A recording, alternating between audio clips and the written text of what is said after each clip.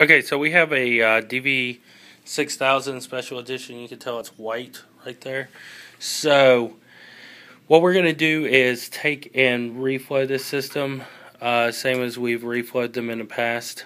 Um, we didn't go through the whole disassembly process or the diagnostics. We've done that a hundred plus times with these systems. But what we will do is we'll reiterate some specific facts about these units we can see that there is some telltale fuzz sticking out the side here.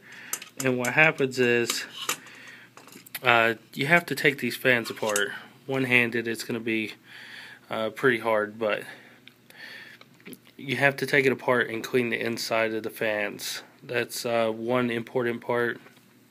Another important part is this crystallized uh, aluminum and thermal compound that's on top there for the CPU that needs to be uh, cleaned and replaced. Now what we do is we put Arctic Silver on there and replace it out. So those are two important things. Another is to check the memory. Now we notice that this system has uh, 512 RAM in it on both slots. So 512 DDR2 doesn't go as bad as 1 gig sticks. So that's another thing that we have to check and make certain of.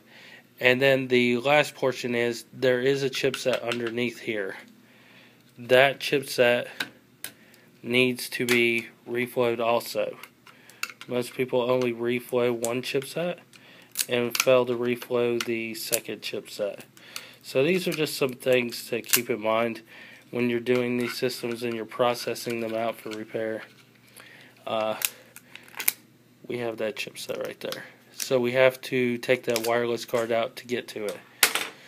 So what we're going to do is start prepping this system and then go from there as far as uh, getting everything set to uh, reflow it. So in the first part of prepping our system for uh, repair, we have taken the fan assembly out. We noticed that it is a little bit dirty, but on the underside, the uh, fins on the heat sink are the most important parts. So those are the portions that we need to clean. And no amount of blowing air and stuff in there will clean that out. So need to uh, actually take the system apart and clean that out and then move to scraping this off and prepping it. So that's what we'll do next. We'll clean those out and then prep that pad and show you how we do it as far as what we got going on.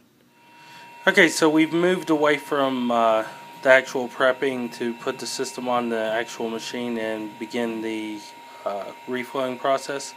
So that's what we're going to do now.